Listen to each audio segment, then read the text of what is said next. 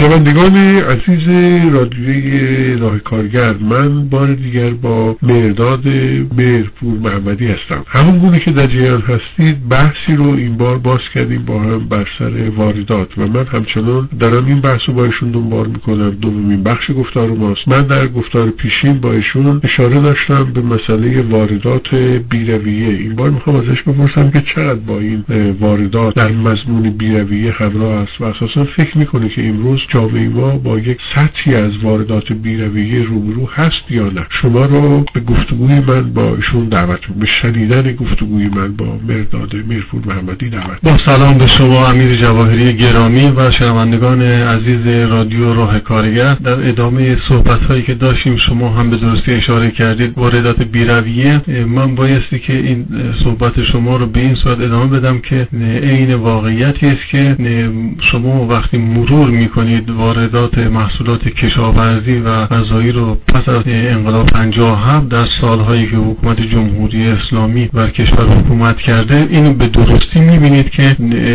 یک فهرست بلند بالایی فراهم شده از انواع محصولات و در بسیاری از موارد لزومی هم نبوده برای این واردات. ولی از اونجایی که این واردات ویژه به شکل افزار گسیخت و بیرویه خودش سود کلانی رو نصیب وارد کنندگان و حامیانشون می‌کرده گروه های مافیایی که هر کدوم یه بخشهایی از این محصولات رو اداره می‌کنند و در انحصار خودشون دارن. بنابراین شما می‌بینید که این روند هم ادامه پیدا می‌کنه. یعنی فکر می‌کنید که مسئله واردات بیرویه نوع کالا رو به لحاظ در واقع ترکیب عددیش معنا میده یا وزن مخصوصش بیشتر در کیفیت نوعیت کالاست؟ به این معنا که پرسش ما با حجم وسیع انواع کالا و ورودش رو هستیم یا از یک کالا در در واقع تیراژ وسیع کمی معنا داره. این رو چگونه می‌بینید شما؟ اگر که درست متوجه پرسش شما شده باشم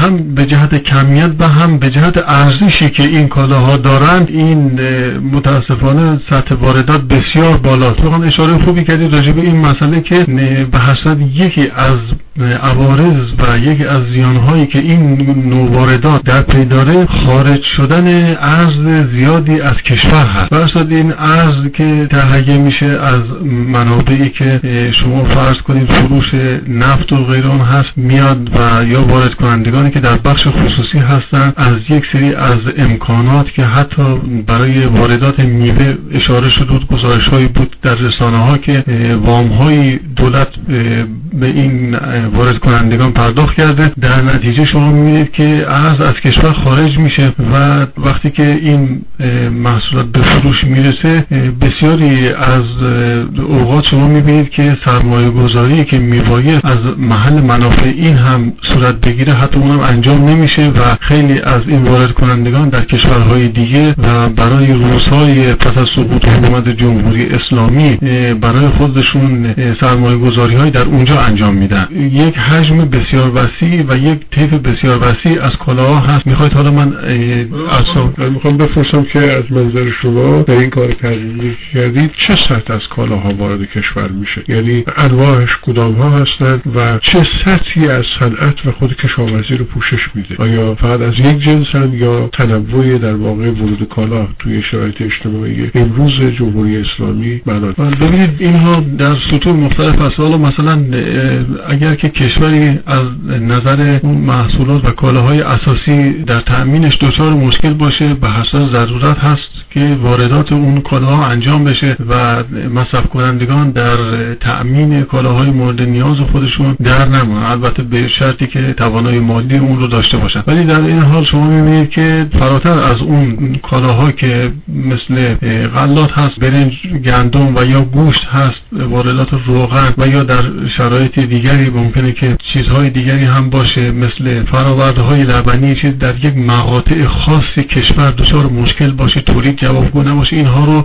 پذیرفتنی است. ولی شما در گستره کالاهایی که وارد شده بسیاری از محصولات رو می‌بینید که اصلا نیازی نبوده. مثلا مثل چغندر قنه شکر تصفیه نشده یا تصفیه شده.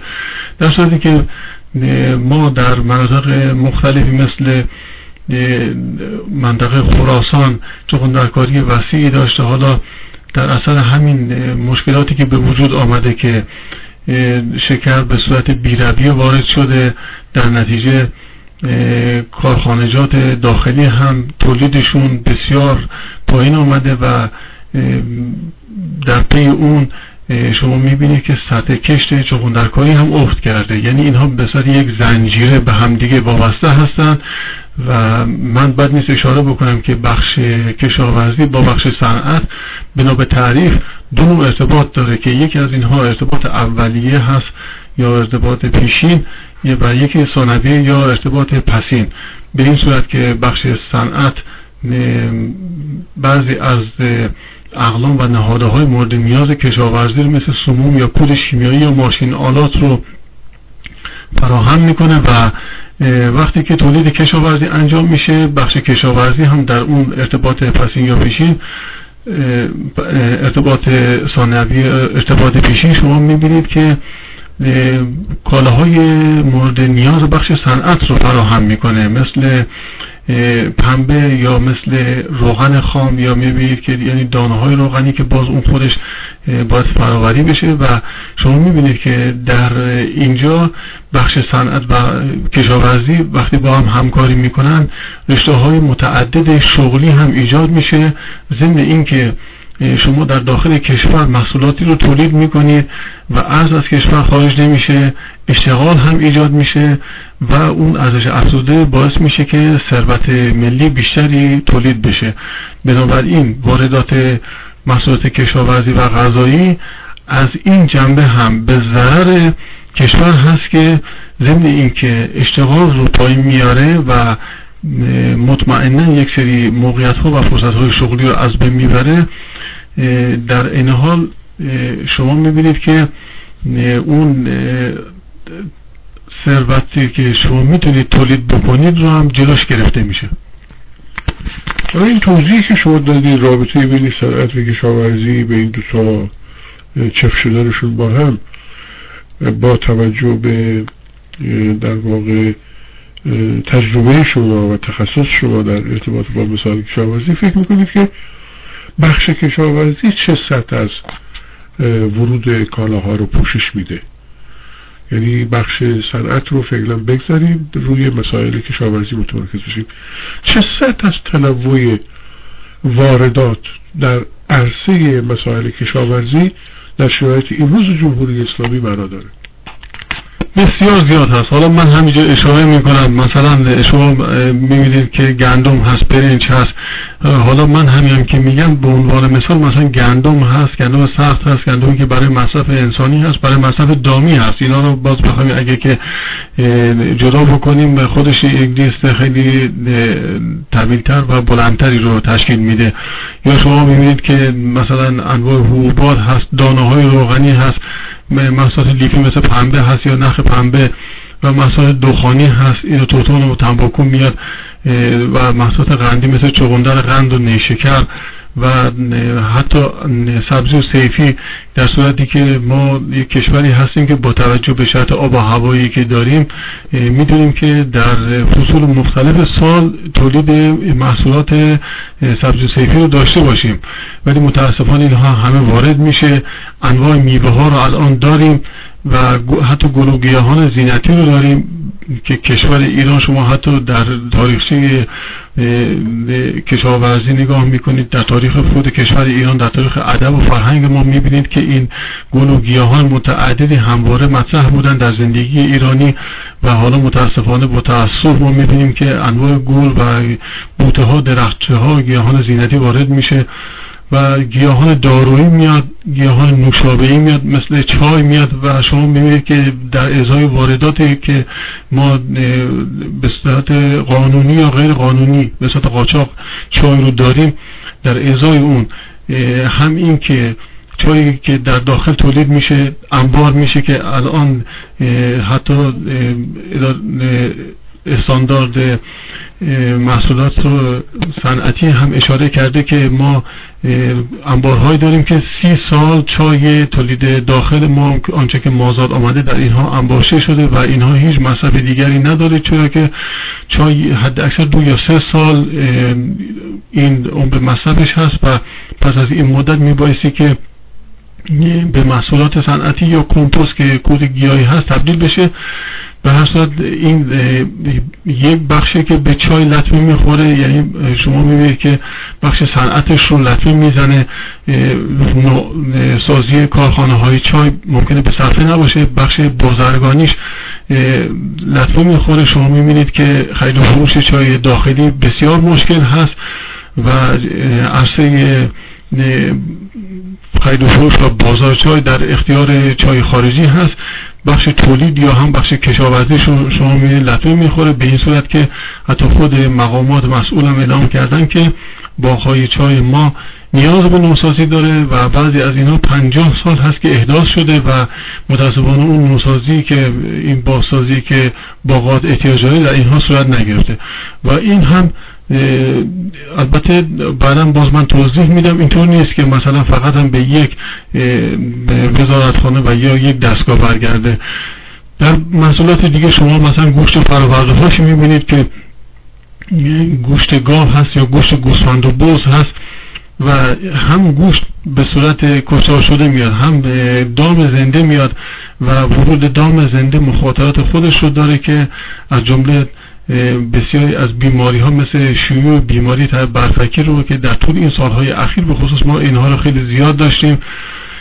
در این حال من حالا به جای خودش باز اشاره می کنم که متاسفانه از این شرایط خیلی سوء استفاده شده و جمهوری اسلامی بستری رو فراهم کرده که ما انواع محصولات غذایی آلوده هم وارد مملکت شده. از جمله همین گوشت که من به وارداتش اشاره کردم گوشت های آلوده هم بود که اینها در سال 81 محموله های گوشت آلوده وارد کشور شد. البته به احتمال باز هم هست. این در سال 81 آشکار شد. فراورده های فرعی دام هست. وقتی که ما می‌تونیم که خودمون بسیاری از این فرورده ها مثل پشم یا پوست و یا چند در اینی که خودمون هم صادر کننده هستیم به خصوص پوست و شرم و اینها رو. ولی متاسفانه شرایط گونه شده که به خصوص در این سالهای اخیر قدرت رقابت از محصولات ما سلب شده و همینجور هم در حال افزایش هست.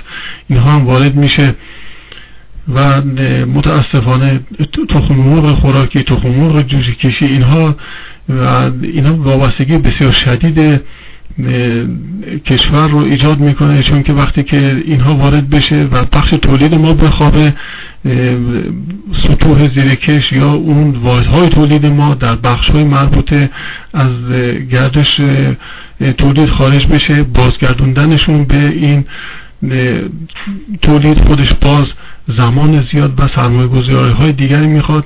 یک لطمه بسیار بزرگ دیگری اینجا ما داریم که برای اینکه بسیاری از این واحد های تولیدی بیان و بتونن که آغاز به کار بکنن هزینه های گذافی ایجاد شده و الان با این شرایطی که به وجود میاد اینها از رده تولید خارج میشن از دور تولید خارج میشن اون سرمایه گذاری ها معطل میمونه و این یک ضرر دیگری هست که به کشور وارد میشه. و مثلا ما در بخش دیگری فرورده های حشرات مفید مثل مثلا ابریشم رو داریم که متاسفانه از کشور چین به صورت وسیع چه تخم نوغان و چه پیله ابریشم نخ ابریشم اینا همه وارد میشه متاسفانه. و به طوری شده که در مراکز اصلی که تولید ابریشم هست مثل استان گیلان و یا تربت هیدری در استان خراسان ما این مشکلات رو داریم. و من باز هم تاکید می‌کنم که وقتی که ما اینجا صحبت می‌کنیم که لطمه می‌خوره به بخش کشاورزی و تولید بخش کشاورزی کاهش پیدا می‌کنه اینجا ما دقیقا خارج شدن تولید کننده بهره و کشاورز رو از بخش کشاورزی داریم و این کشاورز در قسمت های دیگه ممکنه که نتونه فعالیتی بکنه و این دقیقا رشد حاشیه نشینی رو شما می‌بینید در شهرهای بزرگ و نیروهای کار ساده که به احتمال فراوان در بسیاری از اوقات قادر به انجام کارهای فنی دیگری هم نیستن و مشکلات بسیار زیادی در انتظار اینها و در انتظار جامعه هست. محصولات بسیار زیاد دیگری میشه اشاره کرد که اگر که شما مایل باشید من می‌تونم اینها رو انواع روغن ها هست فرآورده های غلات هست خشکبار هست آب میوه ها و نوشیدنی ها متاسفانه اینها یا توفاله ها خوراک داماتیمو هست. انواع شیرینی و شکلات تنقلات هست. بعض نهار هست محصولات فرآورده های چوبی چاشنی ها و حتی غذاهای نیمه آماده که اینها از کشورهای مختلف متاسفانه در طول زمان به کشور ما وارد شدن به خصوص در این سالهای اخیر شدت زیادی پیدا کردیم واردات. الان تو همین فاصله که شما این فهرست رو ردیف می‌کردید دیدم که حجم کالاهایی که وارد میشه به غایت پرشمار پرسش دیگری که ذهن من گرفته اینه که جدا از چین که اسمش برده میشه چه کشور به کشورهایی این سطح از کالاها رو به ایران میفرستن و جمهوری اسلامی با چه سطح از کشورها برای تهیه این کالاها وارد مراوده میشه و این اجناس رو وارد می‌کنه. آیا چیزی دارید؟ ارزیابی و نشانه هایی دارید یا نه؟ بله کشورهای زیادی هستن که در تجارت خارجی با جمهوری اسلامی طرف معامله و تجارت هستند. وارداتی که کشور الان در کشور صورت می‌گیره از طرف حکومت و باندهای وابسته به حکومت از کشورهای مختلفی هست مثل آمریکا، کانادا، برزیل، آرژانتین، اروگوئه، شیلی، استرالیا، نیوزیلند.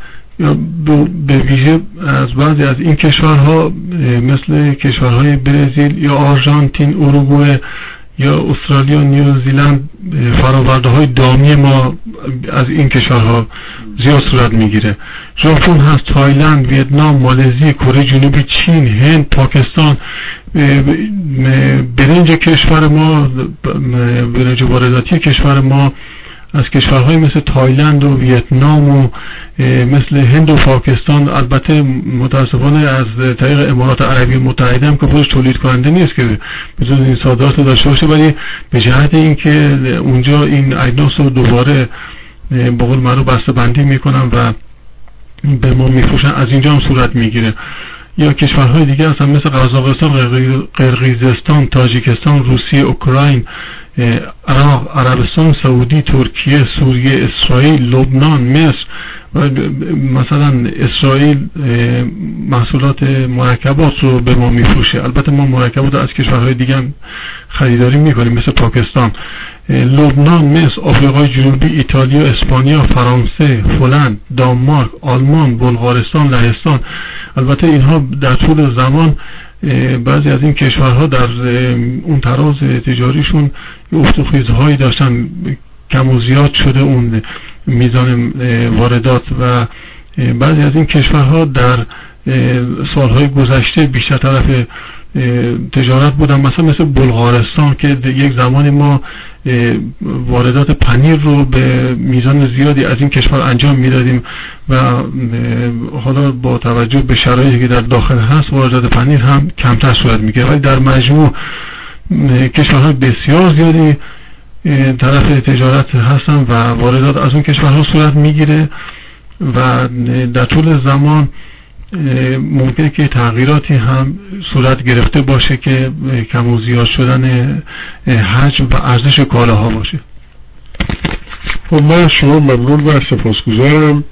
بیشتر از این خستتون نمی کنم این حد از واردات از این سطح از کشورها من فکر می‌کنم که در جغرافیای جهان جمهوری اسلامی دیگه جای باقی نگذاشته که به سراغش نره. غیر از همون جابلغا و جابلسا که بایستی اونها رو هم تو کره ارز شناسایی کنه بره از اونجا هم جنس بیاره. اگه موافق باشید ما در ارتباط با زیانهای ناشی از این سطح از واردات بیرویه تو گفتگوی بعدی ما با هم صحبتمون را ادامه از شما ممنون و سپاس خواهش می‌کنم. من هم از شما و شنوندگان گرامی رادیو راه کارگر تشکر می‌کنم. شاد و سربلند باشید.